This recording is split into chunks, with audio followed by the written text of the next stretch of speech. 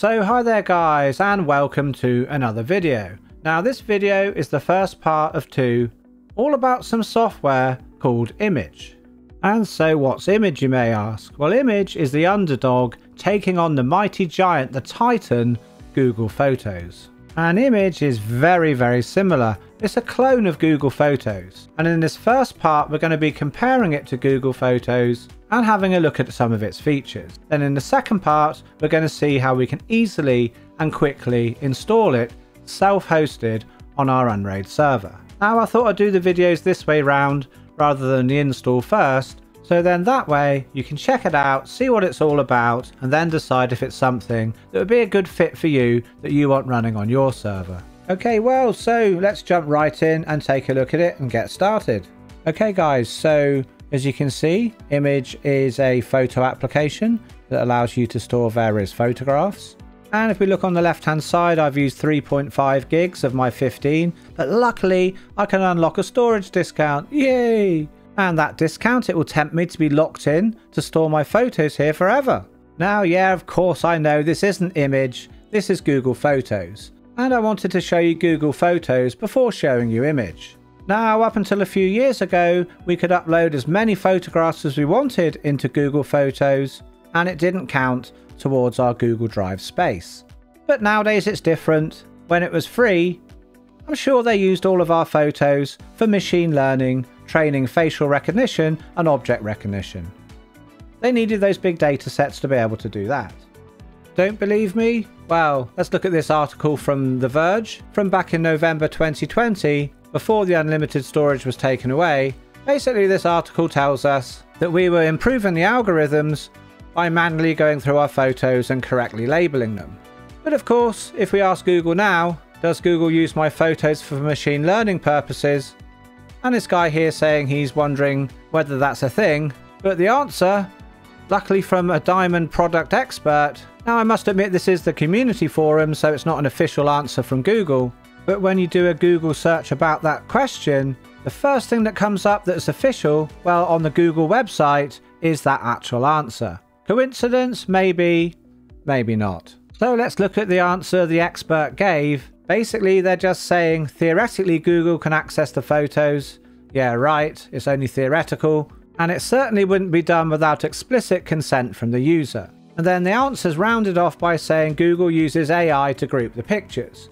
Well, that wasn't at all what the actual poster was actually asking. The question was, are the photos used to train AI? And if so, where did I agree to these terms and conditions? So the question wasn't answered, then the thread was locked, and if you search the subject, it's the first official thing on google.com that comes up.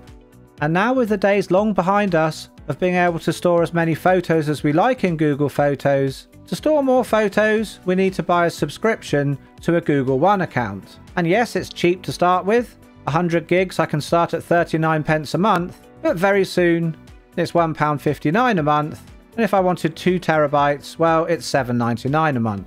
What this basically does is it traps us in this ecosystem, and we've either got to keep paying forever a subscription to store our photos, or one day we have to move them.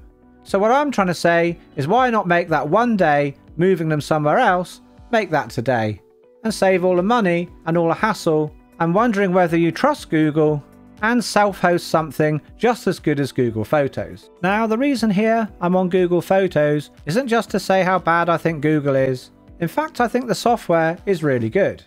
And I'm sure all people using Google Photos are thinking, well if I swap to something else, what am I going to be losing out on? And what's the experience going to be like? So I uploaded 256 photos into Google Drive and I uploaded the same 256 photos into Immich and yes, if you didn't notice, I've actually switched across to that now, and it looks very, very similar. In fact, you could say it's pretty much a clone of Google Photos. On the left-hand sidebar, we've got pretty much exactly the same things, except we don't have anything to actually buy prints. And the storage I've got, well, there's the whole amount of storage that I have on my Unraid server, and I won't need to be buying any more storage. Now, there's one thing I'm going to mention before we really go much further, is obviously if you're self-hosting all of your photos, you need to make sure that your system is really robust. And what I mean by that really is you have to have some sort of disaster recovery. Now, yes, of course, on Unraid you can actually lose a hard drive and rebuild the data that used to be on it. And that's the same with a Z-pool as well. But what would happen if you accidentally deleted the data? Well, rebuilding from parity won't help you. And with a Z-pool, yes, if you had a snapshot, then you could recover the data. But what if everything inside the server was broken? Unlikely? Well, what about a flood, a fire? It can happen. Well, I would need to have my most important data stored somewhere else as well. And as we're trying to get away from the cloud, having a backup server either in your own home or maybe at a family member's house, that's a really ideal solution. But yeah, it can be expensive to build another server. But remember, you don't need to store all of the data that you've got, just the precious stuff. So you might be able to get away with quite a small amount of storage just to back up the important things. And really, you don't need a whole backup server. You could just use an external USB hard drive, plug it in once a week, and back up your most important data onto that. At least you've got another copy of it somewhere else. Now, another good way of keeping backups is to buddy up with a friend who's also got a server and send an encrypted backup to their server of your most important data.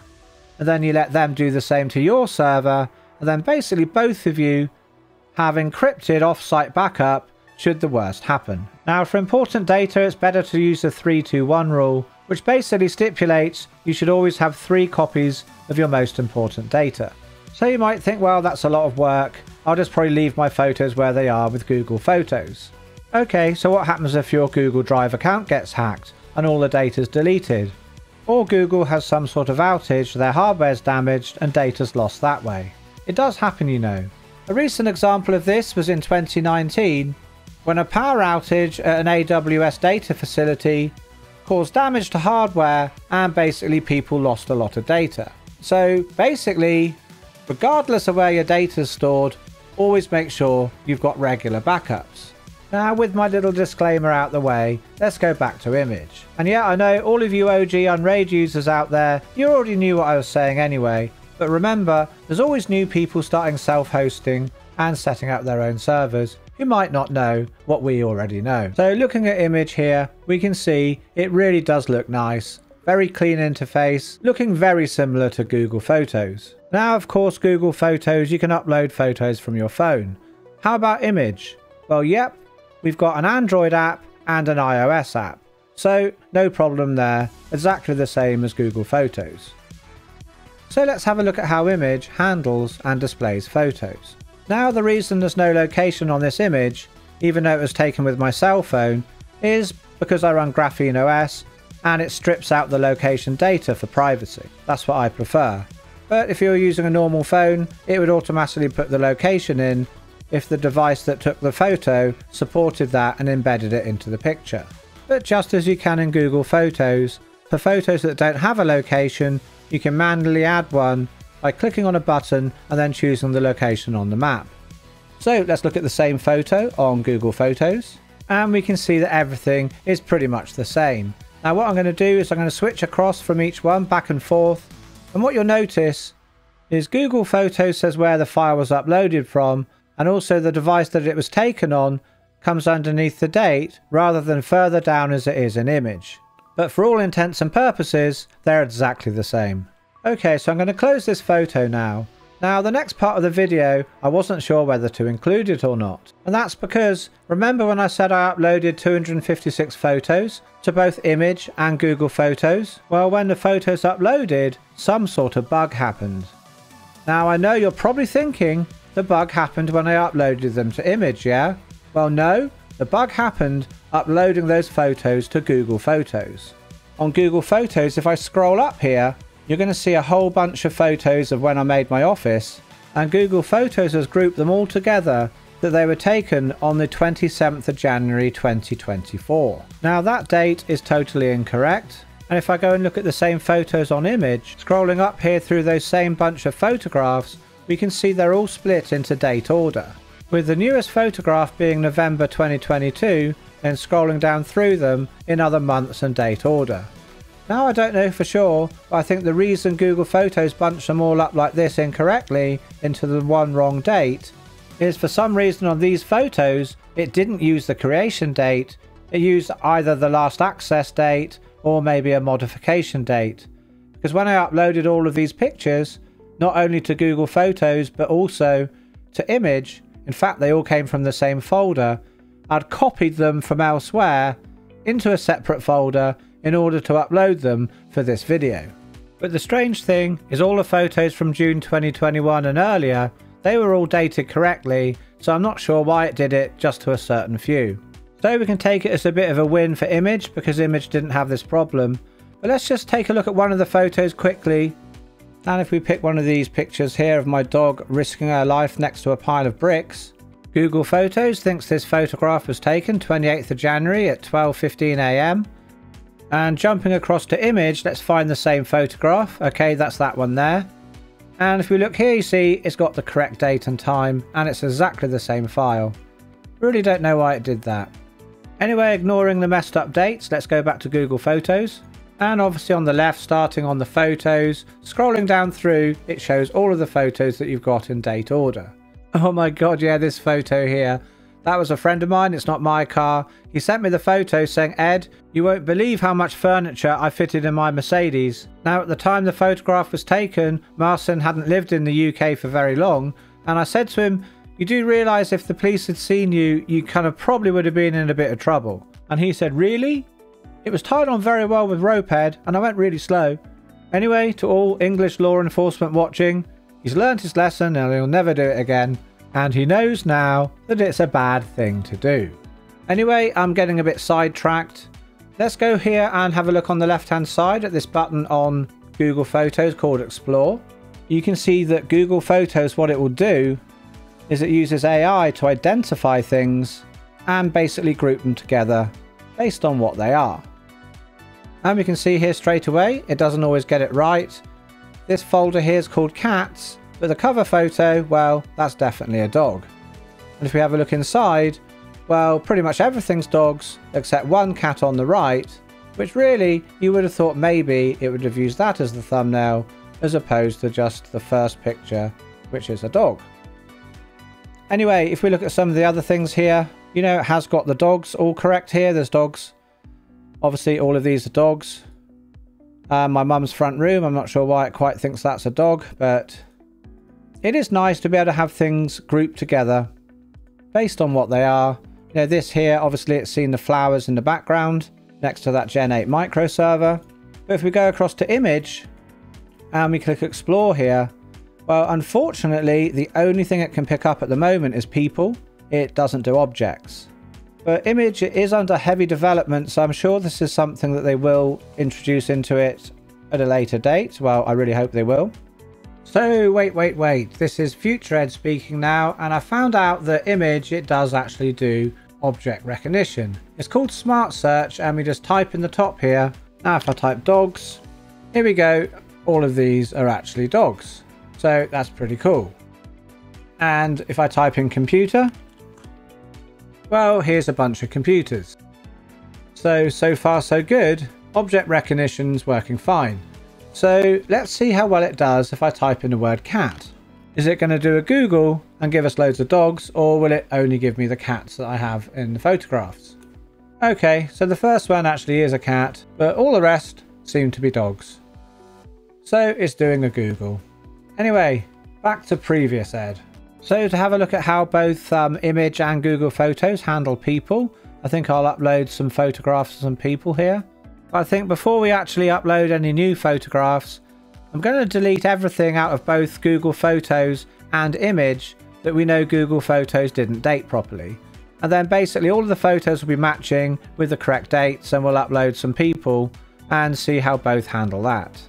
So as you can see in Immich, when we're deleting photos, we just select what we want, whether it's the date or individual photos, and then just click on the trash can icon in the top right hand corner. Now, all of the photos haven't disappeared. If I refresh, we can just see everything now, starting on June 2021.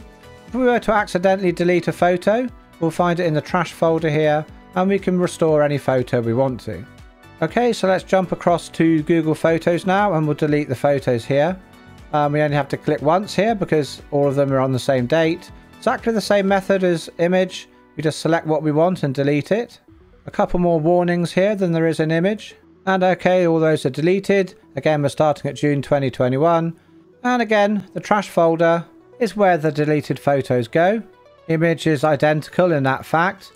Now, can you see anything different here that Google Photos has that Immich doesn't? Well, Google Photos is advertising to us, you can see there, with a 20% off Valentine's Day deal. Well, Immich doesn't have any of that. Back over on Immich here, we can see no ads here. Well, I guess you could take that as a good thing or a bad thing, depending on your point of view. Now, there is one thing I think I prefer with Google Photos. I prefer the larger font size for the dates. I just think it's a bit clearer, like this June 2021 stands out nicely. On Immich, I think it's just a little bit small. Of course, it's no deal breaker. Now, one thing I like about Immich that Google Photos doesn't have is we can actually change to dark mode. See that little moon icon up there? If we click onto that, it changes to dark mode. And now that's something that we don't have on Google Photos. There's nothing there. I did look through all of the settings and I can't find any way in the interface of being able to change Google Photos into dark mode. Now, of course, there are workarounds and they basically involve installing a plugin into your actual browser to better make the page dark mode. It says here we have to install Night Eye, but really, not very good. Immich is much better that we can actually do it from the actual app. Now I think this looks really, really nice. I much prefer dark mode myself. You know, let me know in the comments, guys. You know, do you prefer dark mode or light mode? I definitely think this looks better. So I've downloaded some random celebrities into a folder so I can upload them to both Immich and Google Photos to see how they deal with faces. So let's upload them now. We can see them uploading, but to actually see them on the page, we need to refresh it. Okay, so there they are in Immich. Now let's do the same in Google Photos. So I'll select the same photos and upload them. Now it's going to take a little bit longer to upload because these are uploading to the cloud. On Immich, I hadn't put it through a reverse proxy, so it's just uploading locally, so obviously that was quicker. And in Google Photos, the page just refreshed itself and the photos appeared. Okay, so actually it's been 24 hours since I uploaded these photos. And we can see here on Google Photos, we're getting a memories feature. So we can see spotlight on a day here from photo from New York in 2005. And a glimpse of Thursday, which is actually when I uploaded all these celebrity pictures. Now there's one thing that's different from how these photos uploaded. If we look here, we got this photo here dated August 2023, and this one June 2022. Now, if we go across to Immich, well, this picture here is August 2023, but the June one isn't here. It's actually bunched in with these photos that are up at the top here. So if I actually click onto the photograph here, we can see the date is the 8th of February 2024. But clicking on the same photo in Google Photos, again, it's got a different date. Now, I'm not sure what these date differences are in Google Photos and Immich. Not really a big deal, I'm not too fussed about it. Now, one thing that is a bit weird for me with Google Photos is if I click onto Explore here, I don't have any people here. There's no way in Google Photos for me, and I'll explain why in a moment, I can't see people grouped together based on facial recognition. And also on the side here, there's no map for the locations of the actual photographs. Now, before making this video, I hadn't really ever used Google Photos before, but I knew it was something that was meant to be one of the main features about it. And if I click onto settings here, there's absolutely no way of being able to turn on either. Now, we've got memories here, but nothing else. Now, apparently that's because I live in the UK, and over on this side of the world, apparently we have much stricter privacy rules and so this isn't something that's allowed in Google Photos. Now, I'm sure that the machine learning does exactly the same. It looks at this, but probably just doesn't display the results in order to fulfill some EU law. Now, for you guys watching, anyone else in the EU, is this just a UK thing or is it in the whole of Europe that we don't have this feature? Or am I just missing somewhere on the settings where I can actually unlock this? Anyway, so I can't really compare how it groups faces but I can show you how Immich uses this feature and how well it's actually working. So if I click on to explore now, we can see here it's identified these people. So if we look at the first one here, here's all the Jessica Alba photos. And if I click on this one, for instance, if I move over the people bit here, it shows me where it identified the face. So let's go back Oh yeah, and obviously I could actually name this and then it will display the name under the face. And so obviously next we've got Jean-Claude Van Damme here. Now an interesting thing is if I go back to here and click onto this one, you can see it's a very blurry face. And looking at this, we think, well, that's Jean-Claude Van Damme, why the blurry face? Well, if we open it, so this photograph's been identified twice, one from Jean-Claude Van Damme, which is in the correct folder, but also if I move to the right here, those blurry faces are just the audience. In the film, I think this was Kickboxer or something, or maybe Bloodsport, I'm not sure. So anyway, if I wanted to, I could just merge this into the Jean-Claude Van Damme or just hide the person altogether. I'm going to hide the person altogether. Okay, so there we got our Mike Tyson photographs. And here's the pictures of Danai Gurira or Michonne from The Walking Dead. So we can see here the photo facial recognition seems to work pretty well. Now we can certainly see here that there's quite a few faces that Immich hasn't picked up, such as Norman Reedus and Andrew Lincoln. Okay, so in fact, I think I know why this isn't working correctly, and it's actually nothing to do with Immich. Now, what got me thinking is this photograph here, where we had these blurry faces in the background. What Immich does is actually group faces on how many that it recognizes that are the same. So on this picture, I think there was either three or four, which gave us that blurry face. So what I'm going to do now is I'm going to go back to the administration and then to settings. And just to see if this is the case, I'm going to go back to facial recognition. And at the bottom here, under minimum recognized faces, I'm going to change that to two. So with that changed as two, theoretically now we'll get Andrew Lincoln, but we won't get these other guys here from The Walking Dead. So let's force the job to start now. Right, so let's have a look at the results. And there we have it. We've got Andrew Lincoln, two photos of him. So that was why all the people weren't showing up. So it seems that facial recognition is actually working perfectly. But in fact, we can actually tweak and fine tune the machine learning settings as well. So if we go back and have another look at the machine learning settings here, where this is quite interesting, we can actually choose the machine that's doing the machine learning.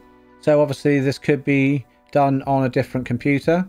And under facial recognition here, this can be toggled on and off. And here we can actually choose the facial recognition model to use. Now the one at the top is the kind of heaviest one. It uses the most resources down to the bottom using the fewest. I find the default model's pretty good. It's fairly swift and it works well, but it's nice that we can actually choose other models as well, choosing the one that best fits our needs. And whilst we're here, We've got the maps and GPS settings here, which again can be turned on and off. Now it's a shame I can't really show you the same things in Google Photos. So the next thing probably to move on to is creating albums. So in Google Photos, we just create an album, name it, and then add photos to it. So we'll just add some dog photos here, just selecting which ones we want. And then that adds the photos to the album. And then when we look in the album on Google Photos, we can rename it, we can share it and delete it. I can't see a way we can actually change the cover on this. I'm sure there must be a way of doing it. But no, I can't see how to. So let's go and look at the same on Immich. Let's click onto albums, add an album, and add the title. And again, we select the photos. It looks pretty much identical, just selecting the photos we want, then clicking on to done and let's click back here and clicking here well we only get the option to delete the album but if we go into the album at the top here we can add more photos we can share delete and download the album and here we can actually set the album cover so if I didn't want the album cover to be what it is I could just say right I want this picture to be the cover and it changes it to what we want it to be so personally I think that Immich probably does this better than Google Photos. I don't know, um, what do you guys think? Now sharing, to actually share photos, obviously we need to have someone to share it with.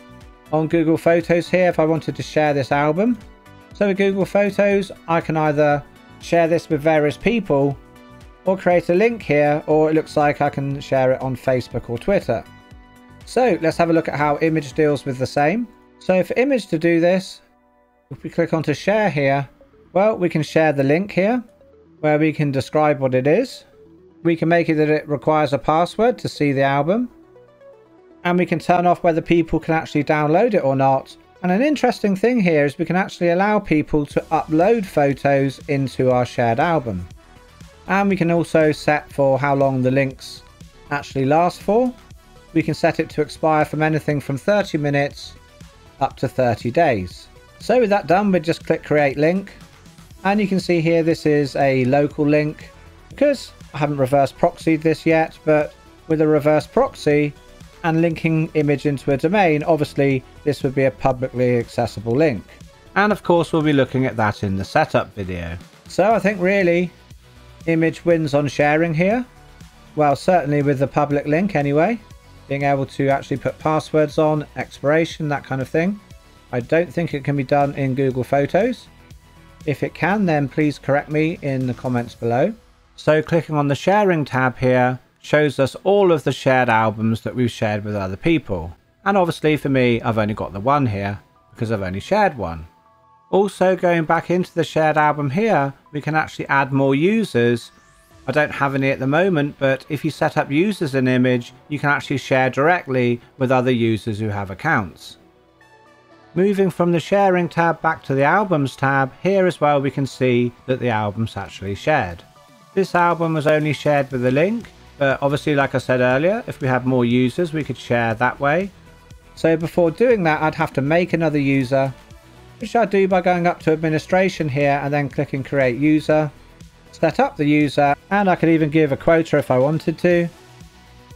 And now you can see I've got two users so now on Immich, going to sharing, I could actually add this to a user on the actual Immich server. So we have a choice between users on the server or using links for people who don't have an account on the server. Okay, so if we look at the map here, we just get a world map and any photos that are geotagged or we've actually tagged ourselves because obviously you can tag a photo. So obviously this is Japan here. So we can just click on here, add location, and just look for Japan.